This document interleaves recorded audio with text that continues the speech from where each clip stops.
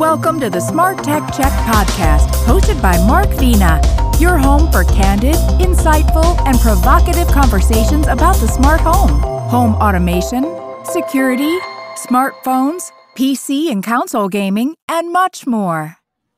Hi, my name is Mark Vena, host of the Smart Tech Check podcast. Today is Thursday, July 28th, 2022.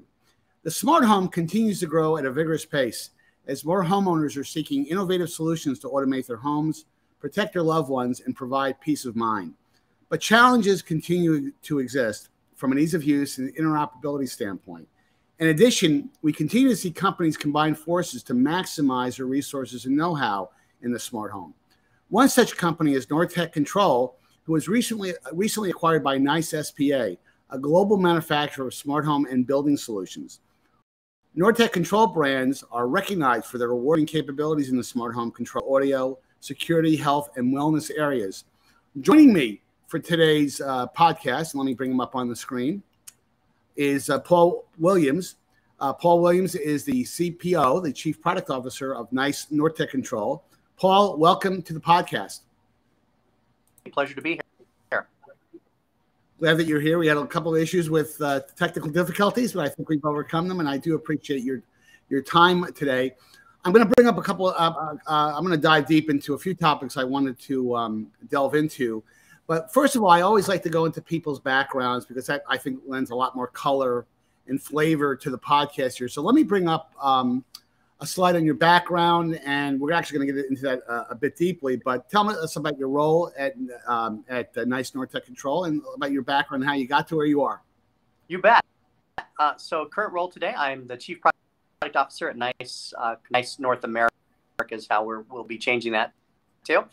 Um, that uh, is a position where it's a fairly new addition to the team, uh, right behind the acquisition of Nice SPA you mentioned at the first part of your call, of the call. So a uh, couple things that, prior to my experience here, I was working for uh, GE Lighting. GE Lighting was a uh, Savant is a well-known uh, pro installed yes. solution that competes with our installed solution that we have. Uh, so very similar to uh, the work that I was doing there for the last couple of Savant and GE Lighting.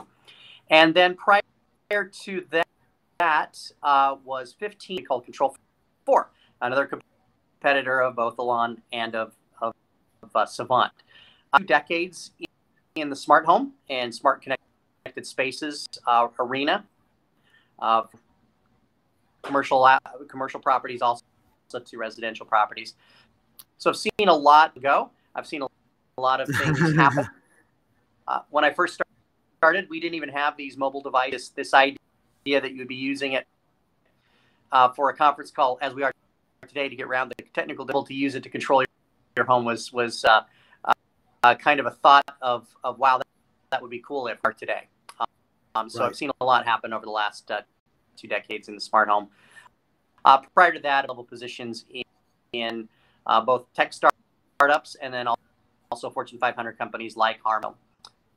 Big background there, and then audio background that goes along with that. Well, well, it's interesting because there's not many uh, um, gentlemen out there, or, or, or, women for that matter, that really have the kind of you know multi-decade experience in the smart home. And as you know, if you go back to the day, you know, the, in the 1990s or maybe the early 2000s, you know, the smart home was very much. It wasn't called smart home. I think the phrase was home automation. It's home automation. And, you know, and and and and the reality is, it was really for the person who was really committed to figuring out an interesting way and turning on a light. And if they could do that, that was you know groundbreaking. And we've obviously come a long way. You know, there's tens of millions of users now that you know use their uh, smartphones. We've had the advent, of course, um, voice assistants that really have kind of powered this through. And we got more and more people who really want to sign up for smart home capability. Yet there's a lot of challenges that remain in the space. You know, I, am you know would like would be interesting at your perspective on on this question. The, the, do you really think right now the smart home is a mainstream category? I mean, certainly it's a it's it's it's got tens of millions, hundreds of millions of people buying all kinds of devices. Depending on how you define what a smart home is, some some people define a smart home. Oh, I have an Alexa speaker, and I can turn on a light. I have a smart home. You know, that's pretty basic 101 type of stuff. But do you really think where do you think we are right now? If I to use the innings of a baseball game as kind of an analogy, you know, are we in the third inning? Are we in the seventh inning? You know, don't know if you're a baseball fan, but uh, let me. Yeah. I just want to get your assessment of that.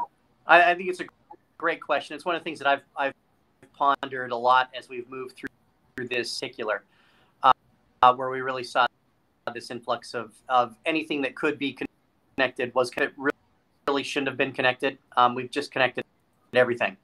Um, and uh, I will analogy, we're probably somewhere in that like third, beginning, top of the fourth inning, maybe somewhere in there. Here, um, the the thing that I believe where we're at today um, is that we have an early adopter phase. Uh, we have not got to mass market um, opportunity there about a consumer's journey into this world. And, and to your point, um, I've talked to uh, that you go, do you have a smart home? And they say, yes. Okay, well, what do you have? I have a, I have a Nest thermostat. Okay, it's debatable, right? Right. Maybe you sort of smart, but uh, it's not really a smart home. That you guys, but not a smart home. And the part of the problem is has been up with all these devices. We decided we wanted to put them in there, um, but without a real value prop, it's it's really hard for you to see. And we've done similar th- things. Do you want to have a smart home? And like, oh, years, it's fine. It, I, it does everything I need it to do.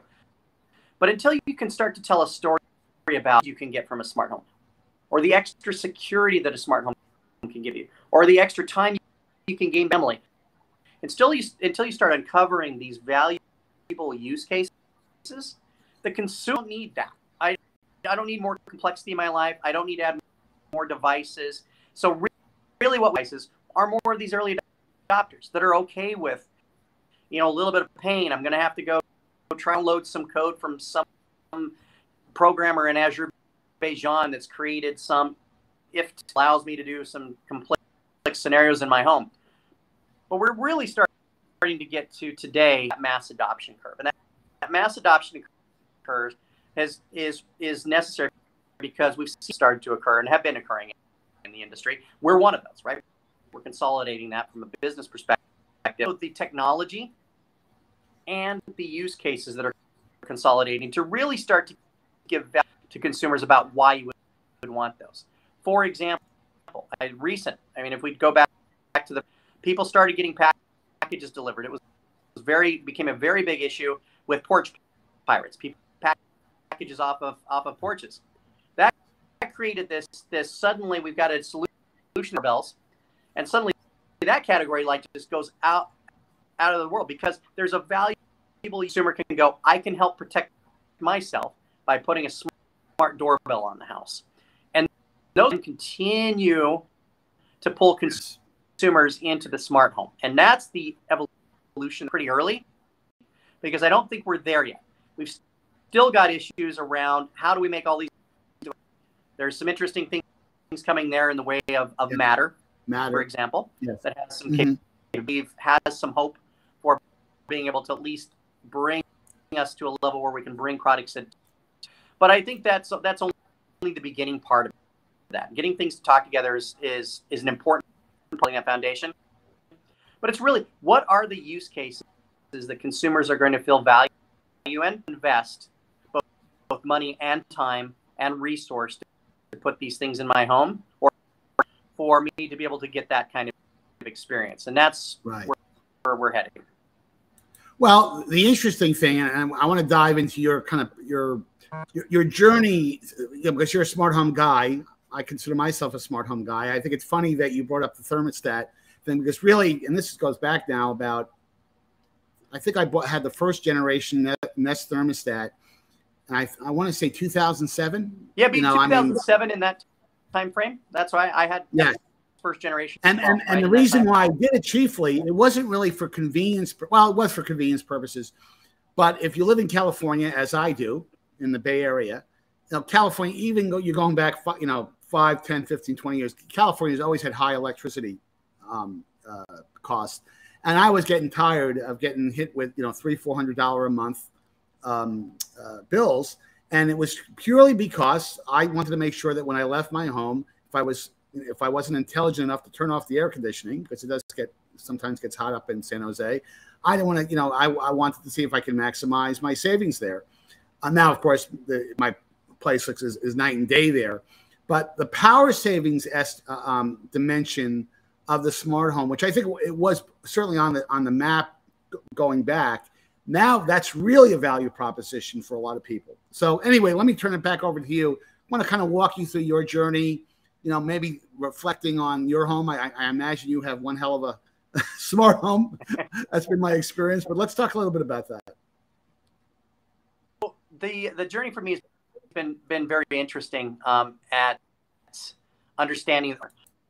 Um, you know, we as you mentioned when we started out in the very beginning of this, it was known as smart uh, or or home automation that we used to say at that point in time was really for the one percent.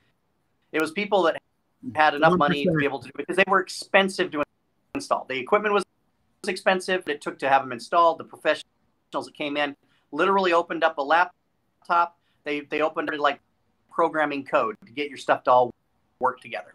Very not not, not object oriented. Not certainly not drag and drop. It was very much line level programming. And so they were very uh, very fragile. It yes. didn't take very much to, to get them to break.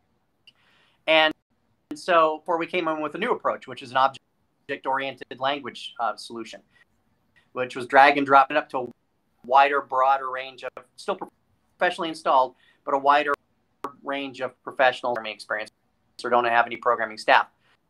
And then also brought the cost down as as well, and that started to see more people entering in uh, with that phase. We then, get to the point. In fact, we just got to the 15 year anniversary this last month of the uh, of the iPhone. So it, it seems like a long time ago at the same time. Uh, but now, then when we got to the smartphone, suddenly the world of, of, of, openness to wow, we could control our home from a mobile device, and so we entered down that same time too. And suddenly you had control not of the home just when you were in the home. And previously, I could get on a computer at a hard line connection connect to my house and control it that no matter where I was in an airport, um, down the road, uh, on the other side of the planet. I still have control that was at my fingertips. And we followed suit as did a lot of other manufacturers following suit. And, and then that, that spawns the age of IoT. And that's where we started to get like, like everything under that connected toasters connected, uh, uh, coffee machines, everything's connected. I the the the thing that kind of that said, hey, we maybe have jumped the shark here, was um, I love CES. Um, in the in the bottom floor of the sands, uh, prior to COVID, they would always have, have this. This would be tree level uh, startup companies, like two two people in a garage that was decided for the product would show up there, and it was great because you got to see some cool, cool, innovative thinking. But you knew that by the next CES because they just can't find the funding or the idea doesn't work. Um, I think the the for me is when I then when I went there and they had a tail that you'd clip on the back of your pants and what you were in, and then it would wag the tail based on the mood. And I'm like, I, I'm not sure that I. I'm pretty sure I was not missing a tail, and secondly that, I don't need to broadcast where my emotional feelings are. But we, we went to that age. What it did though is I think it really started for how can we as platform manufacturers bring to our system because they that's what they are. They're data, they're inputs, they're devices that can trigger things to happen, data that we then use to then trigger things to happen. And we're still, honestly, starting to get that fine, that finely refined so that we can get, get to where I believe of where and it gets overused a ton, which is this this aware and and AI, those kind of technologies. But those really do, I think, bring the value. When your your smart, smart home isn't just smart. Typically, what we see in homes today, it's smart control. I can get in, I can use an app, I can use a, and I can control things in the house. But there are very few things that are happening autonomously. What's happened in the house based on history, based on current conditions in the home. That there's very few of those things, but that is where we're headed. That's the next phase that I see that we're going to get to, and that's where we start to get into uh, go have a beer at the at the seventh seventh inning stretch, right? So. Yeah, I, mean, and I, I, think we made a couple of really great points. I mean, first and foremost, I think the smartphone uh, back in 2007 when Apple really put that concept on the map has really changed everything because now I have a device now that allows me to do things remotely, not just being at home, but oh, I, I forgot to turn the lights on. I forgot to turn off the air conditioning. I want to check in on what the babysitter is doing. But to your point, you know, the smart home is a bit of a misnomer because I think where the real value is going to come in and call it smart home 3.0 or whatever you want to categorize it will be the ability to use AI and your your past history to to anticipate things. For example, let's say you have um, a smart a smart garage uh, door opener, you have smart locks, and you fall asleep on the couch and you forget to close the garage door, which is wide open. Yep. The system should be intelligent enough to say, "Hey, my door is open. It's 10 p.m. The door should be shut." And, maybe to, for double verification, it, it identifies that someone's in the home shut the garage door, lock the doors, you know?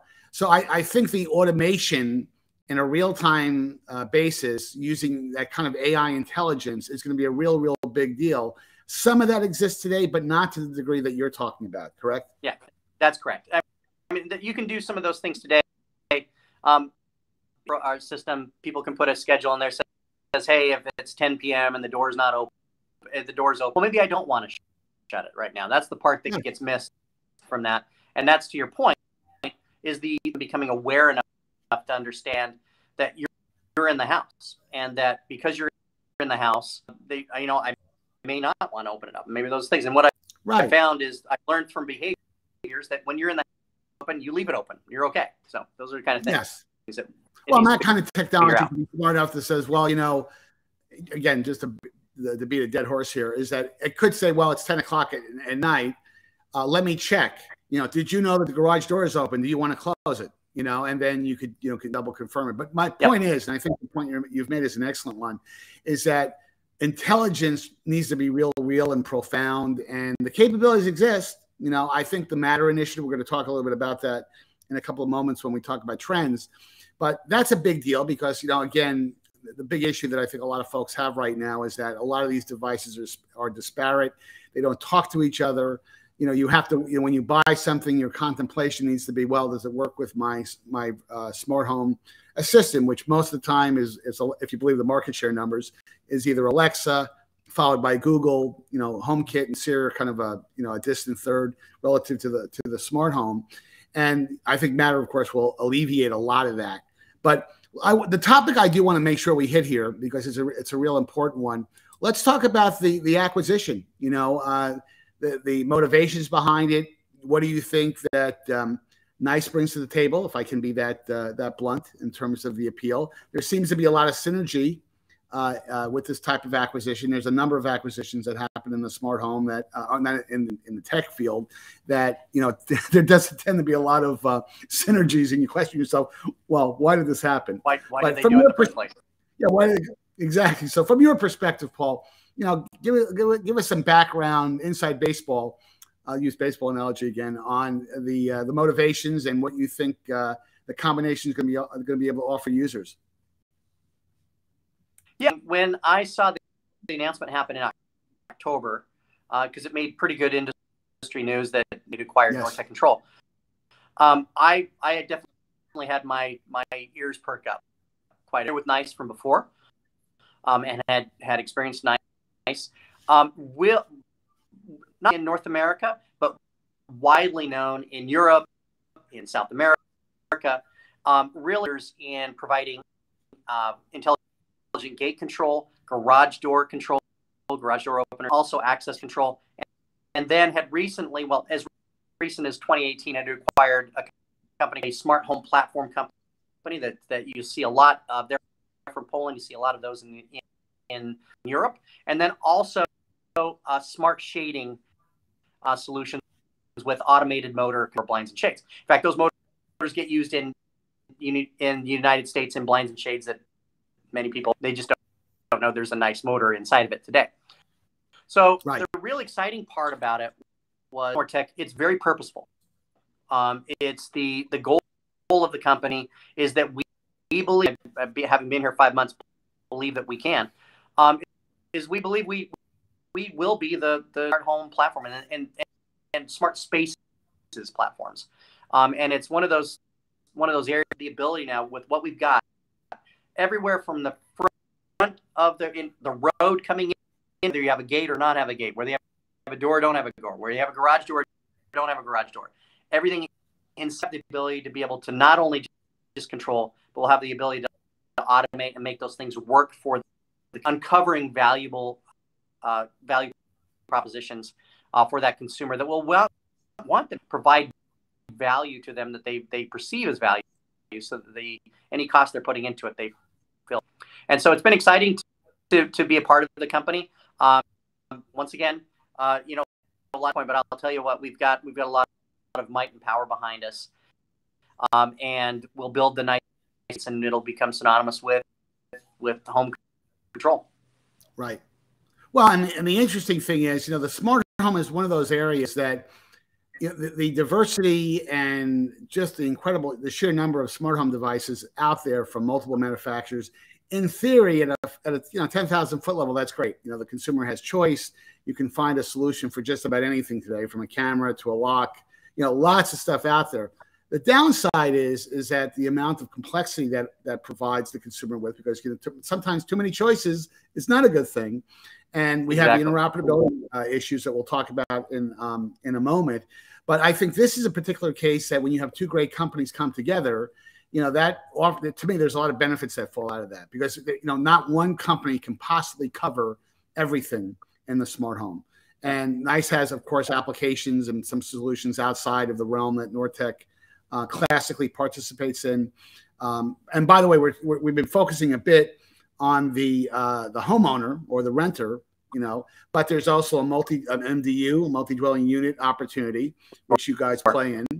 Uh, there is the whole, and, and by the way, the research shows over and over again, especially over the last couple of years with the pandemic, more and more people who are renting units, uh, renting homes, they want to see smart home technology in their apartment, in their building. They don't want they don't want that they don't, they don't want to well I have to buy a home or a condo to enjoy those benefits. I mean, they want to have those capabilities as well. And obviously that's a category that you guys play in uh, very deeply. Yeah, I couldn't, couldn't agree more. And we'll continue to see the MDU uh, uh, race um, somewhat of necessity. Uh, the interest rates and crazy home prices for being renters um, and we'll continue to see that that uh, propagate for some time, I believe. Yep, absolutely. Let's let's hit the, the uh, last topic that I want to kind of dive into, and we'll pull up right there. And you know, at a macro level, some of the trends you know that you see in the smart home space right now. Definitely, one I do want to talk about is energy management because I think that has right. always been an opportunity in the um, smart home, but it's now more important than ever, where you have people depending on where they live in the country, are suffering brownouts. People, uh, I, have never met a person who doesn't want to see their electric, electrical bill reduced. That's an opportunity as well. We talked about Matter before, which is an ease of use um, inter- interoperability um, initiative, which I think is making a lot of traction. But from your perspective, what are the top two or three trends that you like to focus on? Yeah, the top two or three trends, and you mentioned one, which I believe that that's one that will continue to see uh, grow. Um, it, from necessity but also I had these rising energy costs. There was certainly an awareness that that people want, wanted to, if part of it, the economical part of it, just because we want to be more green, we want to be more respectful of the planet. That we already a drive towards that. Um, so I honestly, I believe that the smart home technologies to be able to provide that. Part of it is I need to understand what my consumption looks like today. Hey, could you go save 10% less energy, use 10% less energy. Most consumers don't even know where to start. We don't even know how, what I, I get the bill at the end of the month and I, I know what I used, but I don't understand how to that usage. So awareness is first part of that. I've got to be able to monitor and understand what parts of my going where. Uh, as you mentioned, thermostat. It's the in in North America, the vast majority of that usage is coming from uh, from that. But with the move to EVs become one of the rising consumptions of, of energy. It's just the reality of what we're doing, and pushing around this. Um, and so you want to understand what that is. Even more important, both from a, a uh, doing that is, it, or measuring it, is what do we do with that now? Okay, so now that I've got that into place and some practice and some of the automation into place, to say, you know what? In, in fact, in California, we right that's based on that, and in some areas of the country, it's it's not even based on time of day. It's based on, on the exact use. People are using more energy because it's a really hot day. I have to pay more for it, even though I didn't anticipate I was paying. Being able to get that information back from the utility company, can, can we adjust things like, all right, when it goes to high our EV, let's make sure we're not charging the EV. Let's only charge, charge it at night where the rates yes. are low. Let's yes. let's make let's cut let's, let's cut off lights, whatever we need to do. But to have that happen automatically, so I don't have to every time I notice from the utility company, I have to like run around my house and yes. turn things off and on and adjust temperatures. For consumer, I think is the world that we can get to pretty quickly and are getting there right now. Energy management is one of those critical um, use cases that's coming up there. Uh, the next one is secure. It's it's one of the areas where we'll continue to see growth. Um, we've seen it with with the smart door, but we'll continue to see that go, and I'll extend that into privacy. Um, and yes. people want to make sure that if I've got AI that's out there, I've got stuff that's going on in the cloud, I want to know that my data is secure. I can't see my living habits and my living behaviors, or get even get access to data that that's per- that's a big part of what we'll continue to see uh, getting driven there. And then third, I'll mention is health and wellness. Smart home plays very nicely into providing a healthy environment for consumers. Uh, that in circadian rhythm for lighting control, uh, all the way to air quality with, during the area of era, of COVID here. We've all become a little more attuned to air, especially if you spend a lot of time in your own home. And so there's some things that are happening there that I think are exciting, the big trends that I see. And in addition to that, um, AI, machine learning, uh, those you know, to see happen there. But those are the big the big things I see uh, that are occurring from a trend from a use case. Yeah, and, and and I think the one area I think it's just going to be a huge area is smart home appliances. Uh, in that you know you you talk, we keep talking about AI, AI repeatedly during the, the, the podcast, but it would be great to have a um, a washer and dryer and a, a, dishwasher, which most people use multiple times during the week, that says, don't, you know, you can fill up dishes in the dishwasher, but don't wash them right now. Wash them at eight o'clock when the rates are 10 or 15% less expensive. Same thing with clothes. Most people don't have to wash their clothes immediately. They can wait to an opt. Uh, yeah, you can wait a little bit. Yeah, yeah exactly. Um, but I, I, see that kind of intelligence capability happening more and more. And by the way, building the the the the, um, the case for the appli- smart appliances because appliances are one of those things that most people don't swap out and change until um, the, the, appliance fails. They hold on to a, a, washer and dryer and literally until the thing doesn't work anymore. And then they, they don't fix it, they go out and replace it. Um, let, us end the podcast um, with some commentary, though, on Matter. We talked about it before. You know, how strongly do you guys feel about it as a corporate entity? And uh, are you optimistic that we're going to see devices, you know, later this year that has um, uh, Matter compliance? It's a it's a great point. Something I've been watching real closely. I've been involved with that process uh, before it was called Connected Home over IP, uh, and so involved pretty early on with understanding where, is it where it was. Position to me, um, I was not a fan um, as a manual platforms uh, I, w- I was not a fan. And the reason I was not a fan is it seemed like it was a, a great way, uh, foundational folks, I won't mention their names, but the, big three you mentioned earlier. It's great, great for them. It's an easy, easy, easy way of bringing devices in and they get all the benefit from it. And, then as equipment entices me, I, I now have to compete because if everything looks the same, if it all goes on the same, and, and that's not, that's the race to zero. It's a race I've tried, I try to avoid as I where we're heading. I don't, I don't like that race. It's a it's one we'll we'll always potentially lose because there's there's lots of other folks who can do it cheaper. You can get some some person in their garage that decides they're a manufacturer and suddenly. So um, I looked at the, at that at the beginning. What, I've come to believe is that that it's benefit because I look at it as a on ramp into a platform for us because today if I want to bring products in to into a solution um, or out there, um, they typically have to hardwire those things in. There may be an API, but I still can to get that thing to connect to be able to communicate. I've added this device in order to communicate to it, all the connections, and be able to have them talk to each other. And it's it's engineering help. It's engineering work, it moves very slowly on being able to bring these new things in. If we can get to a place which at least at that connectivity level where I can say, hey, what this is a this is a uh, um, sensors have the same language that they talk, and I know exactly how to talk to it. I can bring those in. I've suddenly now opened in the pro install market for our integrators and dealers to be able to use whatever they want to use and bring it in. That from an on ramping perspective, it's great because it's going to allow us to get breadth and depth without having a lot. And where we can focus is where I believe the benefit will be for us, us and other platform manufacturers. I, I also don't permit the end of this race. There, there will not be. But um, what I believe it brings to us is the ability for form.